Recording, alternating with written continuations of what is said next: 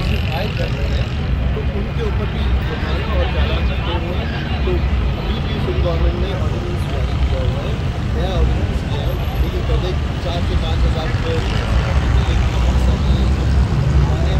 तो मेरी गुजारिश है ये तमाम कारण से कि अपना मुनाफा खोली